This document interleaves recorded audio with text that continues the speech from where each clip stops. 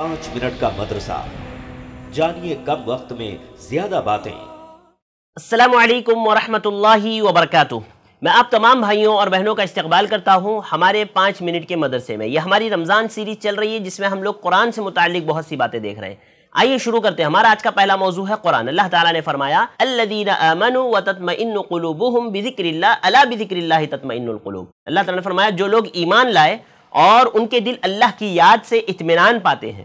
یعنی جب اللہ رب العالمین کی کلام کی تلاوت کی جاتی ہے تو ان کے دل اس کی طرف مائل ہوتے ہیں، ان کے دل خوشی محسوس کرتے ہیں، ان کے دل ذکر کے وقت اطمینان محسوس کرتے ہیں۔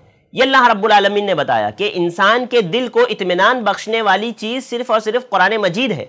شیخ عبد الرحمن بن ناصر السعدی رحمہ اللہ فرماتے ہیں کہ ایک قول کے مطابق یہاں پر ذکر سے مراد اللہ رب العالمین کا ذکر کرنا ہے۔ مثلا تسبیح کرنا سبحان اللہ الحمدللہ، اللہ اکبر، یہ سب پڑھنا۔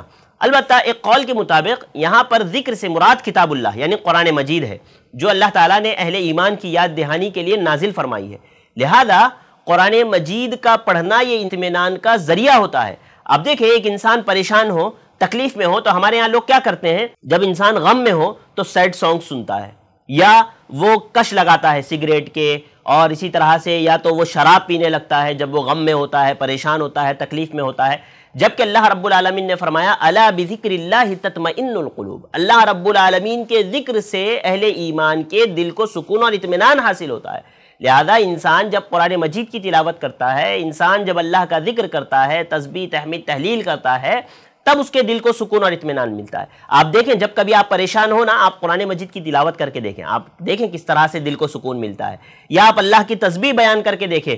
اللہ رب العالمین کی تسبیح، تحلیل، تحمید بیان کر کے دیکھیں، دل کو آپ کی سکون ملے گا۔ لہذا انسان کو چاہیے کہ جب کبھی وہ پریشان ہو، تکلیف میں ہو، مصیبت میں ہو، وہ جو ہے ان ساری چیزوں میں سکون نہ ڈھونڈے۔ ان ساری چیزوں میں، شراب، گٹکا، سگریٹ ہاں اسی طرح سے گانے موویز ان تمام چیزوں میں آپ سکون اور اطمینان مت ڈھونڈیے۔ آپ کو اگر سکون اور اطمینان ڈھونڈنا ہے تو آپ قرآن مجید کی تلاوت میں ڈھونڈیے۔ ناظرین چلتے ہمارے آج کے دوسرے موضوع کی طرف۔ ہمارا آج کا دوسرا موضوع ہے تاریخ اسلام۔ تاریخ اسلام میں ہم لوگ حضرت عمر ابن الخطاب رضی اللہ تعالیٰ عنہ کے دور کی بات کر رہے تھے اور آپ کے دور خلافت کو ہم لوگ دیکھ رہے تھے جو مختلف واقعات۔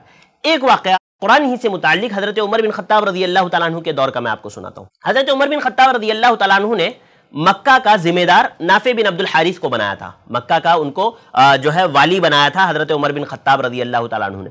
ایک مرتبہ حضرت عمر مکہ جا رہے تھے دورے کے لیے۔ تو حضرت نافع بن عبد الحارث حضرت عمر رضی اللہ تعالیٰ عنہ کو ریسیو کرنے کے لیے، آپ سے ملاقات کرنے کے لیے، آپ کا استقبال کرنے کے لیے مقام عصفان میں پہنچے، جو مکہ اور مدینہ کے درمیان میں ہے۔ ہوتا ہے نا کبھی کبھار آپ کے کوئی رشتہ دار آ رہے ہوں، یا آپ کے کوئی استاد آ رہے ہوں، یا آپ کا کوئی قریبی شخص آ رہا ہو، تو آپ ان کو ریسیو کرنے کے لیے یا تو ایئرپورٹ چلے جاتے ہیں، یا آپ اسٹیشن چلے جاتے ہیں، ہے نا؟ تو حضرت عمر رضی اللہ تعالیٰ عنہ کو ریسیو کرنے کے لیے حضرت نافع بن عبد الحارث جو ہے مکہ سے باہر نکلے اور مقام عصفان میں پہنچے۔ جب حضرت عمر نے وہاں پر ان کو دیکھا تو ان سے پوچھا کہ تم نے اپنے پیچھے کس کو وادی میں ذمہ دار بنایا ہے؟ کس کو اپنا نایاب آپ نے بنا کر کے آیا ہے؟ کیونکہ جب آپ مکہ سے نکلے ہوں گے تو ظاہر سی بات ہے اس کو ایسے ہی تو نہیں چھوڑ دیا ہوگا آپ نے۔ کسی کو تو وہاں پر نائب بنایا ہوگا نا تو کس کو آپ نے نائب بنایا ہے؟ تو حضرت نافع بن عبد الحارث نے کہا، ابن ابزا کو۔ ابن ابزا کو، ان کا پورا نام تھا عبد الرحمن ابن ابزا تو حضرت عمر نے پوچھا، من ابن ابزا کہ ابن ابزا کون ہے؟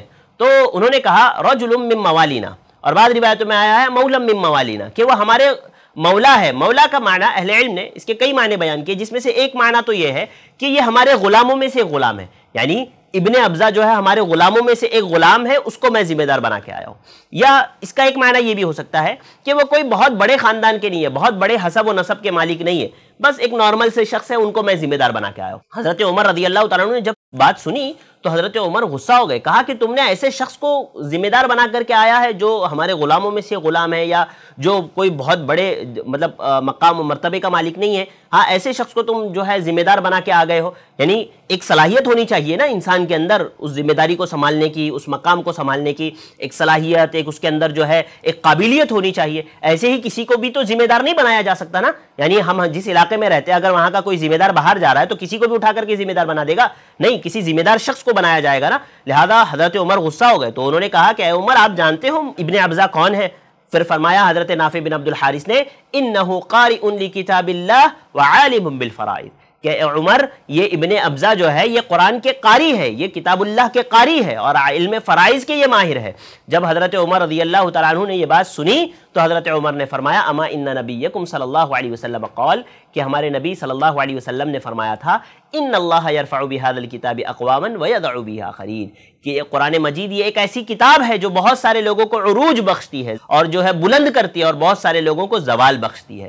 لہذا حضرت عمر نے کہا، تم نے بہت اچھا کیا۔ تو دیکھیے کیسے قرآن مجید نے حضرت عبد الرحمن ابن ابزا کا مقام و مرتبہ بلند کیا۔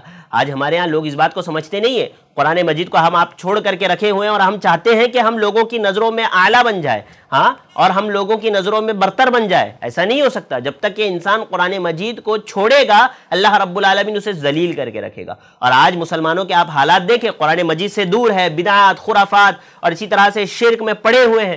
لہذا اللہ رب العالمین نے ذلت ہم پر تاری کر دی ہے۔ ہم جب قرآن مجید کو مضبوطی سے تھامیں گے، قرآن مجید کی تلاوت کریں گے، اس پر عمل کریں گے، تو اللہ رب العالمین ہمارے حالات کو بدلیں گے۔ لہذا ہمیں چاہیے کہ ہم قرآن مجید کو ہمارے لیے مشعل راہ بنائیں اور اس کے مطابق ہم اپنی زندگی میں عمل کریں۔ اللہ تعالیٰ سے دعا، اللہ تعالیٰ مجھے اور آپ کو اس کی توفیق عطا فرمائے۔ ناظرین، مجھے دیجیے اجازت۔ السلام علیکم ورحمۃ اللہ وبرکاتہ۔